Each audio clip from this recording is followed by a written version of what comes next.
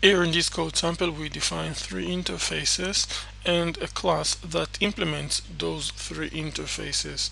Calling class implements function we can pass over either a reference for an object that was instantiated from a specific class, the name of that specific class, or even the name of the class but not as a string but just typing the name itself. Now if we execute this code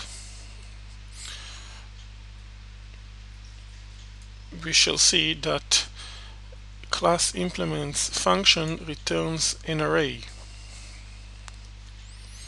An array that tells us which interfaces are implemented in the class that we passed over its name or an object that we instantiated from it.